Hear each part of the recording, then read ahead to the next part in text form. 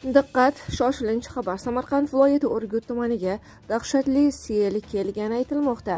Uyni ichidan chiqayotgan suvni ko'rib, sel qanchalik dahshatli bo'lganligini bilish qiyin emas. Boshqa bir yuborilgan videolarda esa mashinalarni ham suv oqizib ketayotganini ko'rsangiz bo'ladi. Barcha hamyurtlarimizni Alloh o'z panohida asrasin.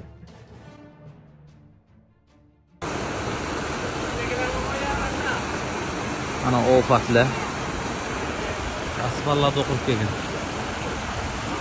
betonlar yangi asfalt qilingan yerli yorilgan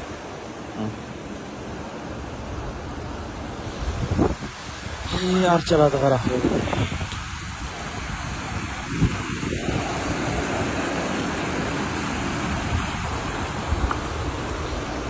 mana bu yondagi ariqqa మనం యంత్రాన్ని వేస్ట్ ఎత్తుకొని దరజగా ఇది हम चले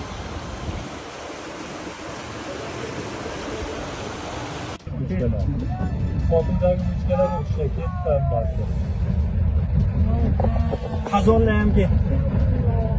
Hani en formayı temsil Aynı tezon biraz.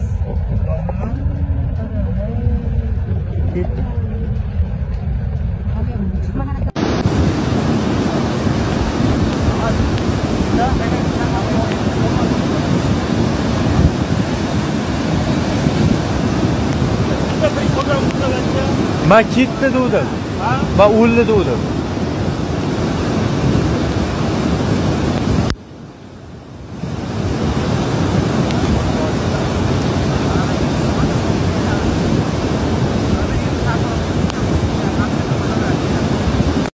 assalomu alaykum va rahmatullohi barakatuh hayit ayyominglar muborak bo'lsin oshnalarim shu akamiz avariyaga uchragan ekan avariyada urib tashlab ketib qolgan ekan. To'rt oydan beri yotib ekan mana o'zbekiston surxondaryosidan ekan akalar.